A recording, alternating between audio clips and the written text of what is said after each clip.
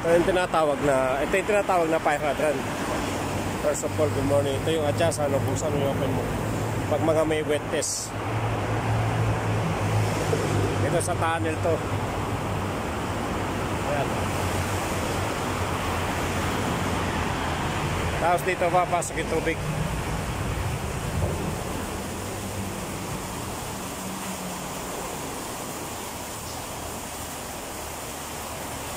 Ayan, pupunuin yan. Ayun yung gauge niya, yung pinakapula na yun.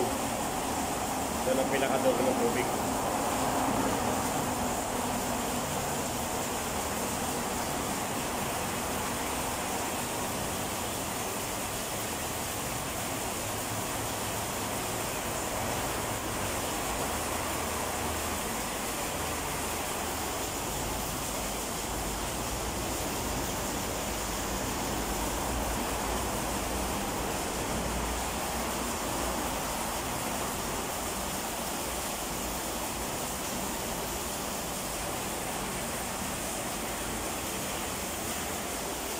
Tagal-tagal din pala puno ito.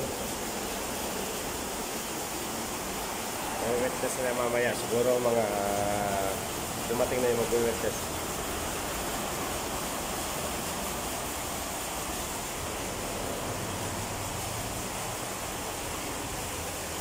Ayan, monitoring panel niya. Pump.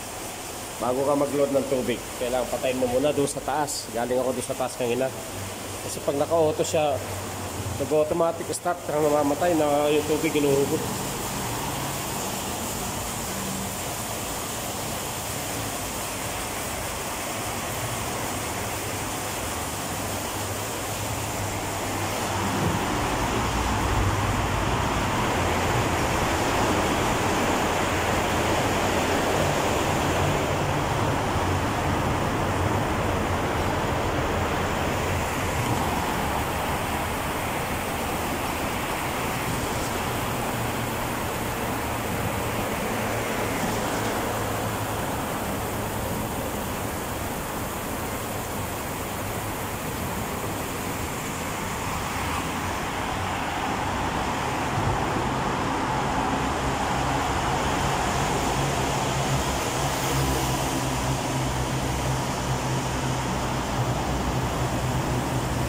Yan sa nilalim mo.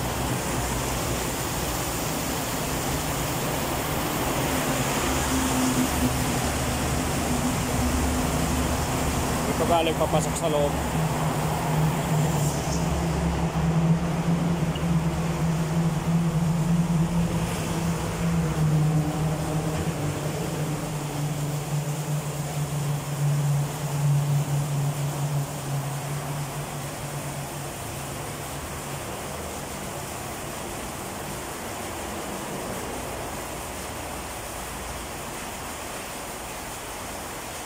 May ganito ka lang sa atin, no?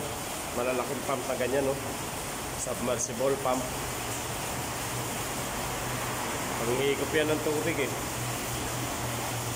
May pispan ka doon na malaki, gusto mo na mag-harvest, ito ginagamit. Ito rin ang ginagamit ng mga nanguha ng isda, yung mga Thailand, Cambodia, yung pinapakita sa YouTube. Yung mga pump na ganyan, malalaki. Agisan nila isang buong baboy, dalawang baboy, minsan isang buong baka, eh. Sa mga batuan. Tapos pag, ah, ano, bababa na yung tubig na